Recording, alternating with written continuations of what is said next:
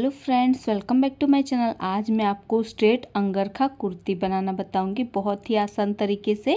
तो उसके लिए देखिए, मैंने ये ढाई मीटर क्रेप का फैब्रिक लिया हुआ है। आप इसे अपनी पसंद से किसी भी फैब्रिक में से बना सकते हैं। तो सबसे पहले हम बैक पार्ट की कटिंग करेंगे। तो फैब्रिक को मैंने डबल फोल्ड करके बिछाया हुआ है। जो मेरी साइड है, वो इसकी बंद वाली साइड है और जो ऊपर की साइड है, वो इसकी खुली हुई साइड है। और देखिए, इसकी जो लंबाई मैंने रखी है, वो 44 यानी कि चवालीस इंच की रखी है। अभी देखिए शोल्डर के लिए हमें सात इंच पर निशान लगाना है, क्योंकि आगे से हम इसमें डीप नेक बनाने वाले हैं, इसलिए शोल्डर हमें सात इंच का ही लेना है।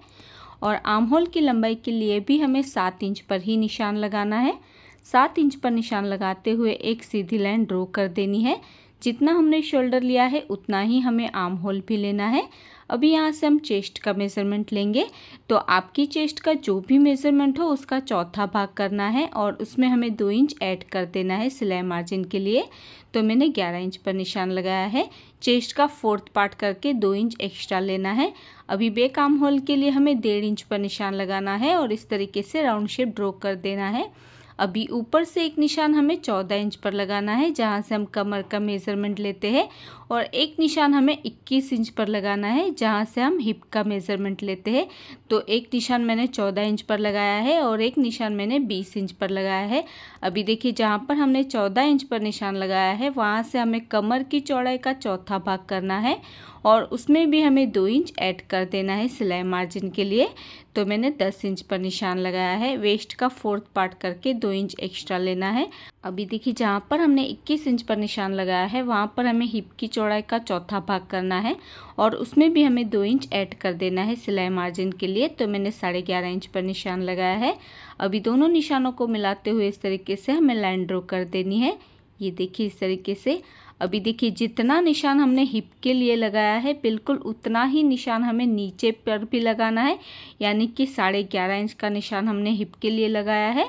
तो उतना ही निशान हमें नीचे वाली साइड पर भी लगाना है तो उतना ही नीचे से भी हमारा घेरा रहेगा तो हमें चाक को फोल्ड करने में कोई परेशानी नहीं होगी। तो नीचे पर भी मैंने हिप का फोर्थ पार्ट करके दो इंच एक्स्ट्रा लिया है, यानी कि साढ़े ग्यारह इंच पर निशान लगाया है। अभी इस निशान को भी हमें नीचे तक इस तरीके से एक्सटेंड करते हुए लाइन ड्रॉ कर लेनी है। अभी देखिए, गले की चौड़ाई के लिए हमें तीन इंच पर निशान लगाना है, क्योंकि हम आगे से डिप नेक बनाने वाले हैं तो गले की चौड़ाई तीन इंच की ही लेनी है, और पीछे की गले की लंबाई के लिए भी हमें तीन इंच पर ही निशान लगाना है, और इस तरीके से राउंड शेप ड्रॉ कर देना है। अभी जहाँ पर हमारे आर्म होल वाली लाइन है, वहाँ पर आधा इंच पर निशान लगाते हुए इस तरीके से तिरछी लाइन ड्रॉ कर देनी है शोल्डर स्लोप के लिए। अभी हमें इसकी कटिंग कर देनी है। तो देखिए, इस तरीके से मैंने कटिंग कर दी है और ये बैक वाले पार्ट की कटिंग हो चुकी है। अभी जहाँ पर हमारी कमर की चौड़ाई है, वहाँ पर हमें एक छोटा सा कट लगा देना है और जहाँ पर हिप की चौड़ाई के लिए निशान लगाया है, वहाँ पर भी हमें एक छोटा सा कट लगा देना है ताकि हमें फिटिंग करते वक्त आसानी हो। अभी हम फ्रंट पार्ट की कटिंग करेंगे तो फैब्रिक को मैंने डबल फोल्ड करके बिछाया हुआ है, लेकिन जो खुली हुई साइड है, उसे मैंने अपनी तरफ़ रखा है और बंद वाली साइड को मैंने ऊपर की तरफ़ रखा है। और देखिए, इसकी जो चौड़ाई मैंने रखी है, वो 16 इंच की रखी है। तो जितना भी हमने बैक पार्ट कट किया था, उसमें हमें चार इंच फैब्रिक एक्स्ट्रा लेना है, क्योंकि हम इसे अंगरखा शेप में कट करने वाले हैं। अभी देखिए, चार इंच जो हमने एक्स्ट्रा लिया था, वहाँ पर हमें इस तरीके से निशान लगा देना है, ऊपर से लेकर नीचे तक। यानी कि चार इंच पर निशान लगाते हुए हमें एक सीधी लाइन ड्रॉ कर देनी है, ऊपर से लेकर नीचे तक। इतना फैब्रिक हमने एक्स्ट्रा लिया हुआ है। तो आपको चार इंच फैब्रिक ही एक्स्ट्रा लेना है। अभी देखिए, जो लाइन हमने ड्रॉ की है, उसके आगे हमें बैक वाला पार्ट अच्छे से सेट करते हुए रख देना है और इसका आर्म होल और नीचे तक एज इट इज़ ऐसे ही हमें इसे ड्रॉ कर लेना है। गले की चौड़ाई पर भी हम एक छोटा सा निशान लगा देंगे। तो देखिए, इस तरीके से मैंने ड्रॉ कर लिया है और हमें इसकी कटिंग कर देनी है। अभी बैक वाले पार्ट को हम हटा देंगे और आधा इंच अंदर की तरफ़ आर्म होल के लिए हम लाइन ड्रॉ कर लेंगे। अभी देखिए, हमें आगे के गले की लंबाई के लिए निशान लगाना है। तो आगे के गले की लंबाई के लिए मैंने साढ़े छः इंच पर निशान लगाया है। आप आगे की गले की लंबाई सात या साढ़े सात इंच भी रख सकते हैं। मैंने साढ़े छः इंच पर ही निशान लगाया है। अभी देखिए, जो लाइन हमने ड्रॉ की है, यानी कि एक्स्ट्रा फैब्रिक की, चार इंच की, वहाँ पर भी हम साढ़े छः इंच पर निशान लगा देंगे। और जो साढ़े छः इंच पर हमने निशान लगाया है, उसके नीचे हमें दो इंच पर एक और निशान लगा देना है। और जो गले की चौड़ाई के लिए हमने निशान लगाया था, उस निशान को इस निशान के साथ मिला देना है और इस तरीके से हमें वी शेप ड्रॉ करना है। तो जो गले की लंबाई रहेगी, उससे नीचे दो इंच पर निशान लगाते हुए हमें इस तरीके से वी शेप ड्रॉ करते हुए इसकी कटिंग कर देनी है। और जो एक्स्ट्रा फैब्रिक हमने लिया है, वहाँ पर भी हम एक छोटा सा कट लगा देंगे और फ्रंट आर्म होल की भी हमें कटिंग कर देनी है। तो इस तरीके से आगे के लिए हमारे दो पीस कट हो चुके हैं। तो ये पीस हमारे एक दूसरे के ऊपर इस तरीके से ओवरलेप होंगे, जैसे आप वीडियो में देख सकते हैं, बिल्कुल उसी तरीके से।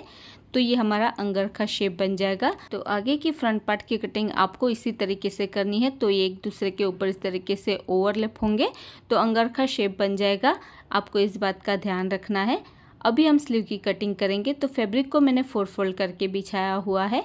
और देखिए, स्लीव की जो लंबाई मैंने रखी है, वो तेरह इंच की रखी है। बारह इंच तक की स्लीव हमारी बनकर रेडी होगी। और देखिए, स्लीव की जो चौड़ाई मैंने रखी है, वो साढ़े आठ इंच की रखी है। तो मैं इसमें थ्री फोर स्लीव बना रही हूँ, सिंपल ही।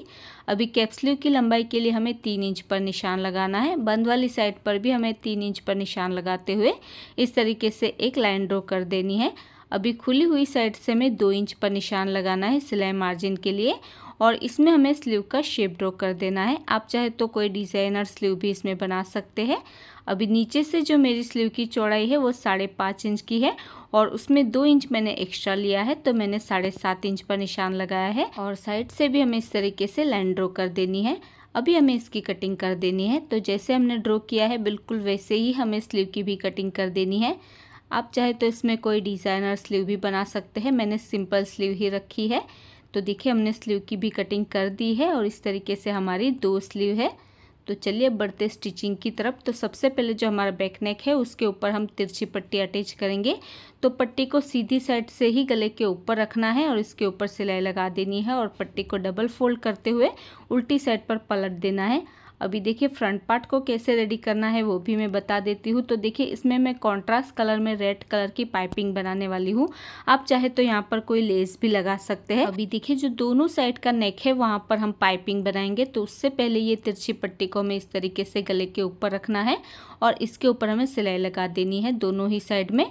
तो देखिए, मैंने इसमें सिलाई लगा दी है पट्टी में दोनों ही साइड में।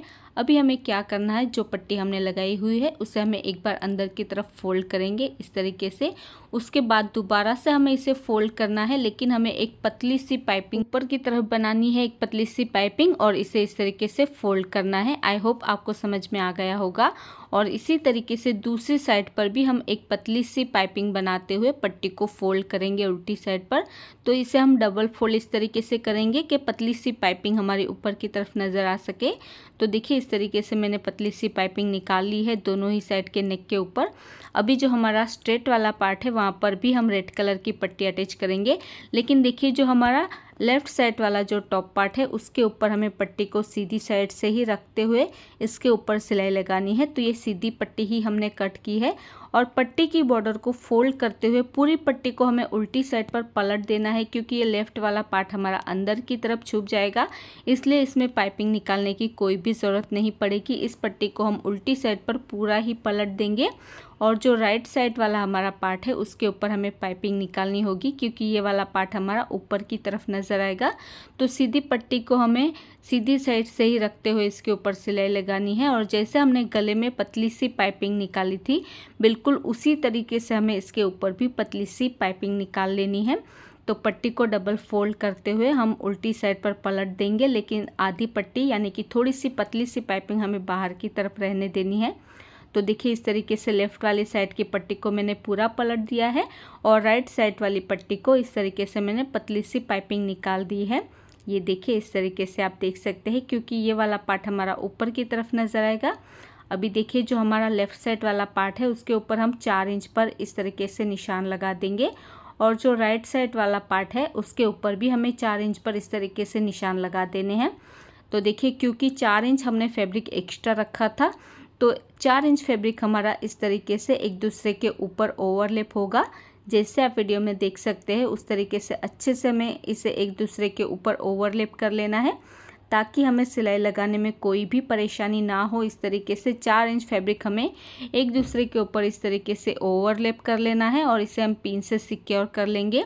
ऊपर वाला जो हमारा नेक है, उसे भी अच्छे से वी शेप में हमें इसे पिनअप कर लेना है। पिनअप करने से क्या होगा कि जो नीचे वाला फैब्रिक है, वो हमारा इधर उधर खिसकेगा नहीं और हमें सिलाई लगाने में भी आसानी हो। तो देखिए, इस तरीके से हमें नेक पर भी अच्छे से वी शेप में सिलाई लगानी है, यानी कि पिंस लगा लेनी है। उसके बाद देखिए, यहाँ पर मैं डोरी भी अटैच करने वाली हूँ। तो डोरी को मैंने रेडी कर लिया है और इसके ऊपर टेजल भी मैंने लगा दिया है। अभी देखिए जहाँ पर हमारा अंगरखा शेप आया हुआ है, वहाँ पर हमें इस डोरी को अंदर की तरफ़ रखना है, जैसे आप वीडियो में देख सकते हैं, बिल्कुल उसी तरीके से। और दूसरी जो डोरी है, वो हमें दूसरी साइड पर रखनी है, जहाँ पर हमारी फिटिंग वाली साइड है, वहाँ पर दोनों को अच्छे से मिलाते हुए रखना है, एक दूसरे के सामने होनी चाहिए दोनों ही डोरिया। उसके बाद देखिए, ऊपर से लेकर हमें तीस इंच पर एक निशान लगाना है तो तीस इंच तक ही हम इसमें सिलाई लगाएँगे, नीचे हमारी स्लिट रहेगी। तो देखिए, आप तीस इंच या फिर बत्तीस इंच तक इसमें सिलाई लगा सकते हैं। उसके बाद हम इसके ऊपर सिलाई लगाएँगे। तो जो हमारा अंगर का शेप है, यानी कि जो वी शेप है, वहाँ से लेकर जो हमने पाइपिंग बनाई हुई है तो जो हमने 30 इंच पर निशान लगाया है, वहाँ तक ही हमें इसमें सिलाई लगानी है। तो देखिए, मैंने इसमें सिलाई लगा दी है वी शेप में और पूरे 30 इंच तक जो हमने निशान लगाया है, वहीं तक हमने सिलाई लगाई है और नीचे इस तरीके से हमारा स्लिट रहेगा। आप देख सकते हैं। तो इस तरीके से मैंने डोरी को भी अटैच कर लिया है।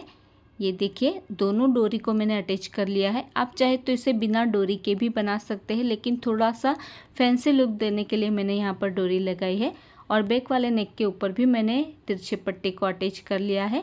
अभी एक पार्ट को सीधा रखना है और दूसरे पार्ट को उल्टा रखना है और इसके शोल्डर ज्वाइंट कर लेने हैं। तो देखिए, मैंने इसके शोल्डर ज्वाइंट कर लिए हैं। अभी हम इसमें स्लीव अटैच करेंगे। तो सिंपली हमें स्लीव को आर्म होल के ऊपर उल्टा रखना है और शोल्डर से यानी कि सेंटर से ही हम स्लीव को अटैच करेंगे। तो स्लीव में हमें इस तरीके से सिलाई लगा देनी है और स्लीव की जो बॉर्डर है उसे भी हमें डबल फोल्ड करते हुए इसमें सिलाई लगा देनी है। आप चाहे तो स्लीव के ऊपर भी पतली सी पाइपिंग बना सकते हैं और इसी तरीके से दूसरी साइड के आम होल के ऊपर भी हमें स्लीव को उल्टा रखना है और सेंटर से ही स्लीव को लगाना शुरू करेंगे और स्लीव को अटैच कर देंगे। और स्लीव की जो बॉर्डर है, उसे हम डबल फोल्ड करते हुए इसके ऊपर सिलाई लगा देंगे बिल्कुल किनारे पर। तो देखिए, मैंने स्लीव को अटैच कर लिया है और स्लीव की जो बॉर्डर है, उसे भी मैंने डबल फोल्ड करते हुए इसमें सिलाई लगा दी है और दोनों ही स्लीव को मैंने अटैच कर लिया है। अभी हमें टॉप पार्ट को उल्टा कर देना है और जहाँ तक हमारी हिप लाइन है, वहाँ तक हमें दो इंच का गेप रखते हुए इसकी फिटिंग कर देनी है और उसके बाद जो नीचे वाले चाक है, उसे हमें डबल फोल्ड कर लेना है और इसके ऊपर हम सिलाई लगा देंगे। तो ऊपर वाला चाक और जो नीचे वाला चाक है, उन दोनों ही चाक को हमें इस तरीके से डबल फोल्ड कर लेना है और इसके ऊपर हमें सिलाई लगा देनी है। और इसी तरीके से दूसरी साइड पर भी जहाँ तक हमारी हिप लाइन है, वहाँ तक हमें इसमें फिटिंग की सिलाई लगा देनी है। दो इंच का गेप रखते हुए, उसके बाद इसके ऊपर और नीचे के चाक को हम डबल फोल्ड करते हुए इसमें सिलाई लगा देंगे। उसके बाद देखिए जो नीचे की बॉर्डर है, उसे हमें सिंपली डबल फोल्ड करते हुए इसके ऊपर सिलाई लगा देनी है। लेकिन जो फ्रंट वाले दोनों ही पार्ट है, जो एक दूसरे के ऊपर हमने ओवरलेप किए हुए हैं तो दोनों ही पार्ट को अलग अलग हमें इसकी बॉर्डर को डबल फोल्ड करते हुए इसमें सिलाई लगा देनी है। देखिए इस तरीके से दोनों ही पार्ट की बॉर्डर को हम डबल फोल्ड करते हुए इसमें सिलाई लगा देंगे। तो ये देखिए मैंने इसकी फ़िटिंग कर ली है और नीचे के चाक को भी मैंने डबल फोल्ड करते हुए इसमें सिलाई लगा दी है। दोनों ही साइड से मैंने इसकी फ़िटिंग कर ली है और चाक को भी मैंने फ़ोल्ड कर लिया है और नीचे की बॉर्डर को भी मैंने डबल फोल्ड करते हुए इसमें सिलाई लगा दी है। देख सकते हैं आप, दोनों ही पार्ट की बॉर्डर को भी मैंने फोल्ड करते हुए इसमें सिलाई लगा दी है। अभी आप चाहे तो इसमें डोरी लगा सकते हैं या फिर ना भी लगाएँगे तो भी चलेगा। और इसी के साथ ही हमारी स्ट्रेट अंगरखा कुर्ती बनकर रेडी हो चुकी है और ये है इसका final look. So friends, I hope आपको आज का ये ट्यूटोरियल पसंद आया होगा। अगर आपको आज का वीडियो पसंद आया तो इसे लाइक और शेयर ज़रूर कर देना। और अगर अभी तक आपने हमारी चैनल को सब्सक्राइब नहीं किया है तो प्लीज़ इसे सब्सक्राइब कर लीजिए। और साथ में उस बेल आइकन को प्रेस करना मत भूलिएगा, ताकि आपको हमारी आने वाली वीडियो की नोटिफिकेशन सबसे पहले मिल सके। और आपको ये वीडियो कैसा लगा है मुझे कमेंट करके ज़रूर बताइएगा। मेरा ये वीडियो देखने के लिए thank you so much, friends.